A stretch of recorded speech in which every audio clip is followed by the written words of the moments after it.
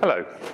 Today I'm going to explain what VESA compatible monitors uh, actually means.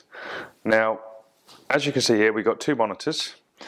This one has a VESA compatible 100mm pitch arrangement of holes and this has a 75mm pitch of holes. Now VESA stands for Video Electronic Standards Association and they've standardized a fitting to fit onto the back of monitors. This is the earlier version, as I say, with a 75mm pitch and this with the 100mm pitch. Now with every monitor arm comes a VESA plate. Now this has a spigot on it which fits to the arm and then it has both arrangements of hole. So we have the 75mm pitch of hole and the 100mm pitch of hole. So you can use for the smaller or for the larger arrangement of holes. Now for this demonstration I'm going to show just on the 100 VESA, so I'll just drop that out of the way. Now with this arm, we supply four uh, M4 by 12 millimeter long button head screws. Now they just drop down into the holes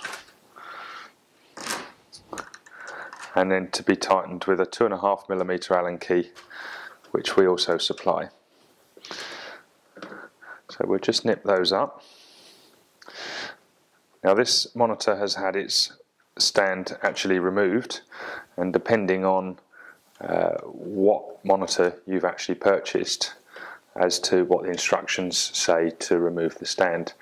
But one thing to bear in mind is to make sure that when you're purchasing a monitor, if you haven't already, that it does have the four holes in the rear of the screen. Otherwise, you will not be able to put your monitor onto a VESA plate. So that is our